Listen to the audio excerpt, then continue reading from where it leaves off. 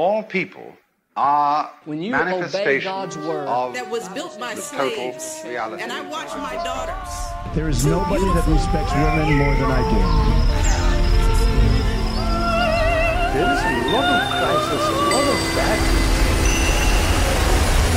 this. Hey, everybody, welcome to this podcast, the podcast where we deconstruct the stories that cause us suffering in order to become more fully present to this. And I'm sorry for the silence. It's been a little while since I've released a podcast. Uh, it's been crazy. My book came out a few weeks ago, and it's also called This Becoming Free. And, you know, I, I'm not great at naming things apparently because this is not a word you can just type in and find this within very easily. So you got to usually search for my name, Michael Gungor. Um, but anyway, it's so exciting to have this book finally out in the world. Um, I've been hearing such wonderful, lovely stories from a lot of you who have been reading it or who have read it already and who it's impacting. Thank you for sharing those stories with me. Thanks for sharing with others online. It's been really cool to finally have it in the world. A lot of work in that book. So glad you're enjoying it. Today's episode's a little different. It's not going to be able to be the full produced, edited thing that it usually is. It's super late, and I'm about to go on another tour tomorrow. I just got done with a tour with my band Gungor, my old band Gungor. It's funny to say now. Um, it was the final tour. We just got done with that. And I'm getting ready to head out on another, another couple dates tomorrow with my friend Science Mike from the Liturgists on a tour called Tabs and Wafers, which uh, I bet if you like this podcast, you'll you'll like that tour. You can check out those tour dates at theliturgists.com. But this episode today is going to be a little different because I'm out of time to get one done. But you've been asking some really good questions on Twitter and Mastodon, and I just wanted to answer some of those questions today. I won't have time to get to all of them.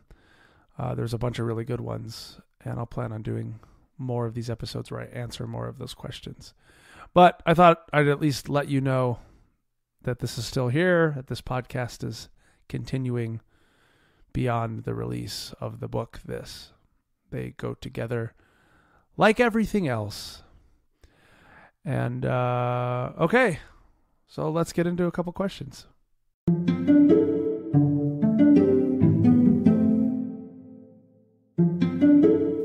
On Twitter, Ryan Shaw asks As someone who struggles with weight, how do I go about enjoying this while simultaneously striving and being motivated to be in better shape and be healthier? I've always used shame as my method of control, but I see after your book how that just causes suffering. Thank you for your question, Ryan. We all have these things, right? These stories that have been told to us about who we should be, what we should look like, how much we should weigh, what we should believe, what kind of sexuality we should have. All sorts of stories about how we should be different than we are. And so, right from the beginning of your question, Ryan, is the suffering. I've been struggling with my weight. And right in there is is the suffering. You mentioned that you've used shame to try to control your weight, and I totally relate. Um, I have a, a family who's not skinny. None of my family members are, are uh, would be called thin. Um, and strangely, even in that context, with a full-bodied family, uh, fatness was always kind of shamed. It was made fun of, laughed at. remember my grandmother, who was this spicy Puerto Rican lady, was quite cruel about it, really, honestly. You know, I remember a fat woman backing up in a grocery store and her making like a beep beep sound. Um, not cool, Grandma. But that was the culture that I lived in. We lived in Wisconsin, a lot of big people, a lot of corn fed people in Wisconsin, dairy fed folks. And um, so I developed an aversion to gaining weight myself. I was pretty skinny as a kid and even into adulthood, but there was always kind of this shame behind it. Like, I can't get fat. I can't get fat. And um, what I talked about on a recent podcast was my habit that I developed of poking my belly and always kind of trying to take stock and make sure that I was feeling okay by checking on my weight. And you are certainly right that shame as a method of controlling weight is suffering. But I would argue that the suffering that you're experiencing is rooted far before you even get to that part of it. Certainly, yes, the shame makes it even worse. But the you thinking that you are this body that needs to be a different kind of body. That's the suffering. That's the root of it. Whether you use shame or pride or freaking hypnosis or whatever you're doing to manage the problem, the fact that you see a problem with who you are is where the suffering is. And don't get me wrong, that doesn't mean to not suffer means just be unhealthy. Like you just got to dig into the Butterfingers, and there's the secret to your happiness. Although I do like a Butterfinger. Um, Ryan, here's the deal. We human beings are a pattern of this, of the all, that have been conditioned to tell stories. It's helped us survive together. And part of these stories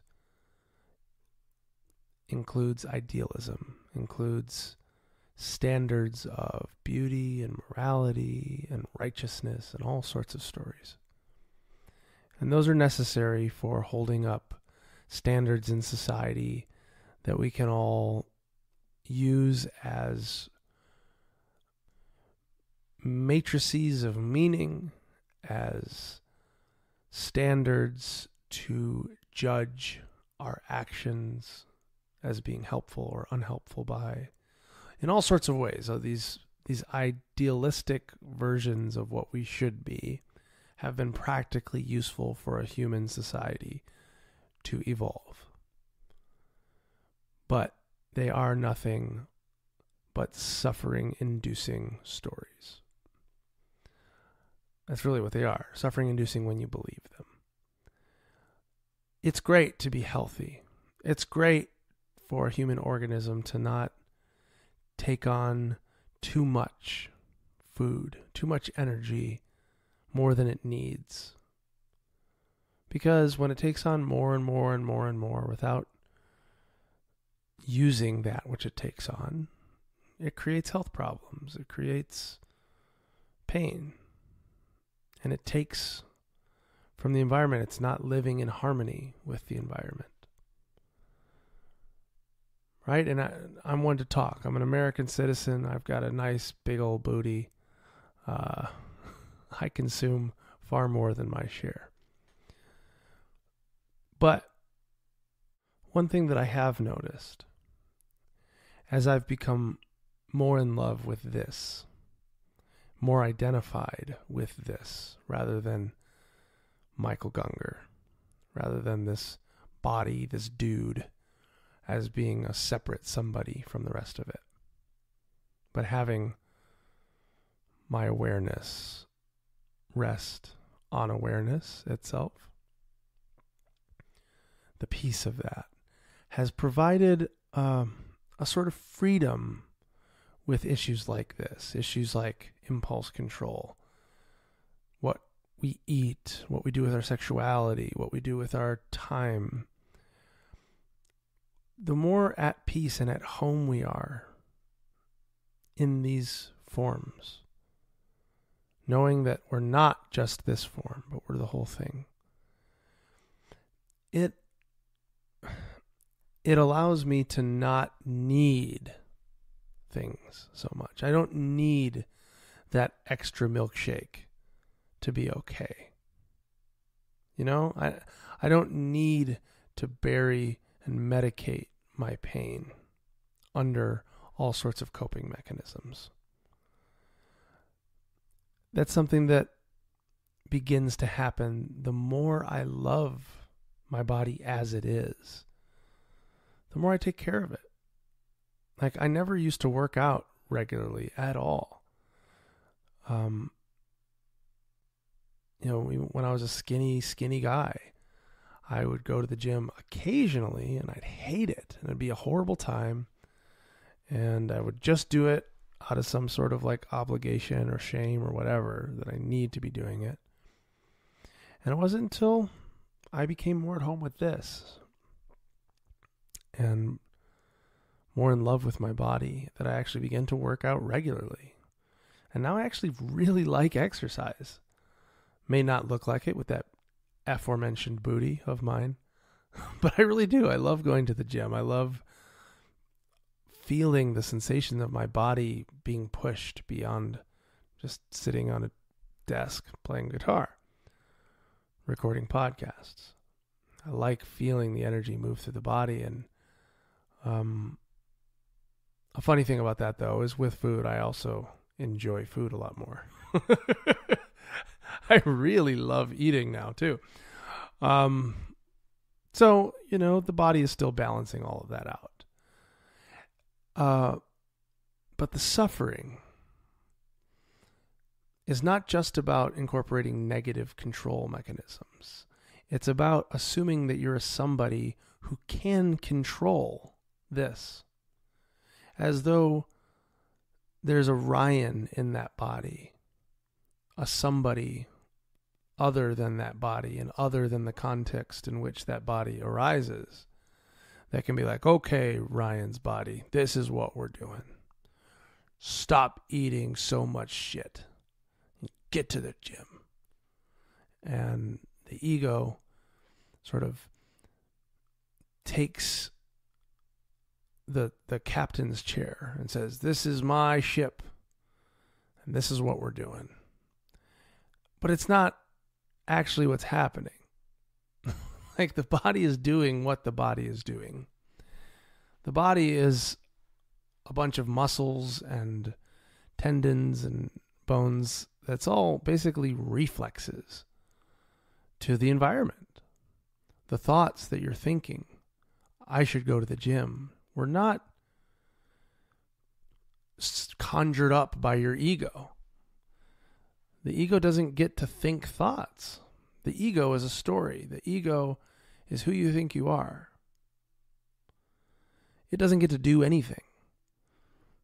It'll take credit for it. like what the body does. The ego story fits that into its memory, into its pattern. It says, Oh, look at that thought arose. That's my thought. Oh, look at this body ate that cookie. I ate the cookie. Oh no, I better feel ashamed. And it's a matter of identity.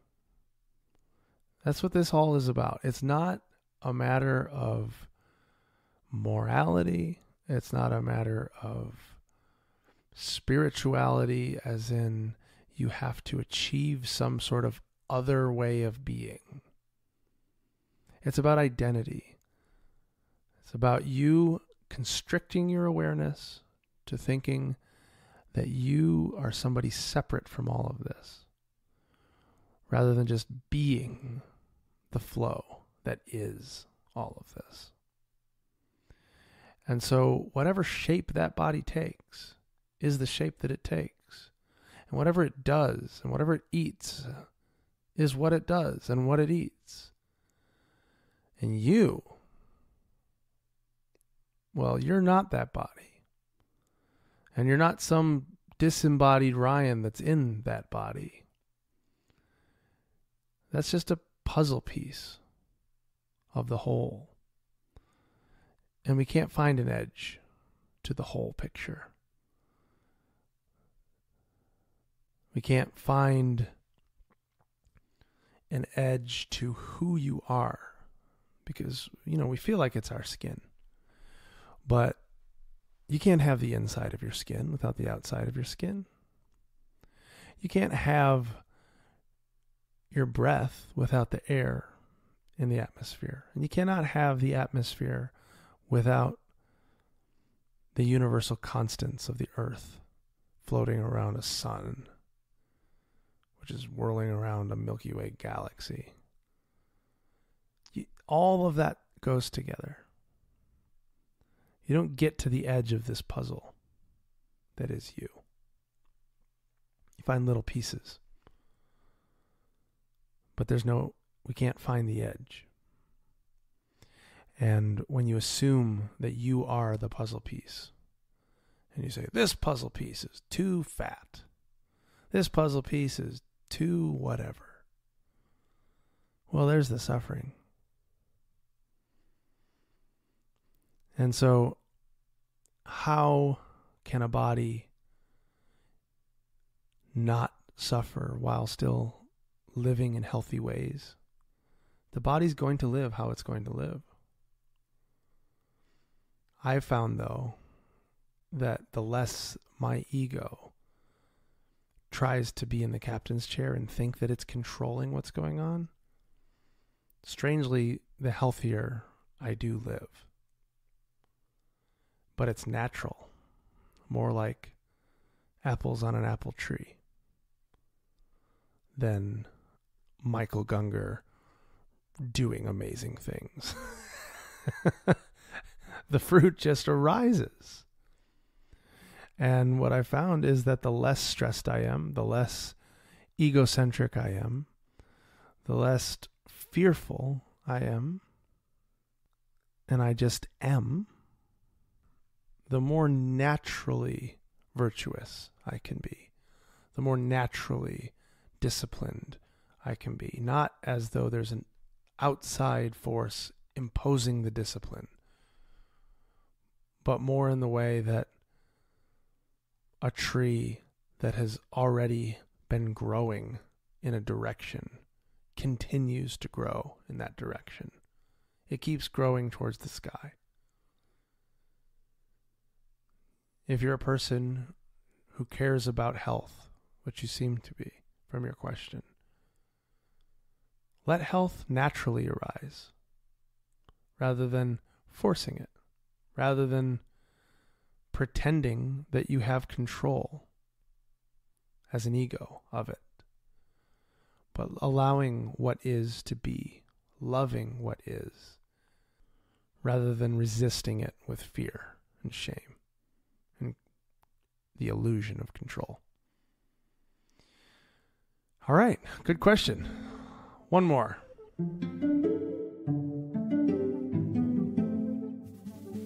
This question comes from Dustin Hatfield, again on Twitter. How would you distinguish between non attachment and just being detached?